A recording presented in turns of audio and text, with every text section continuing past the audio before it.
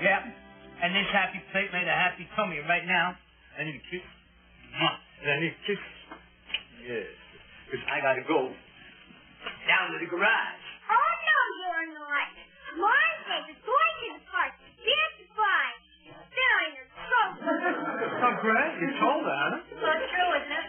I mean, you are going. Your mind is made up. Yes, it is. Arthur.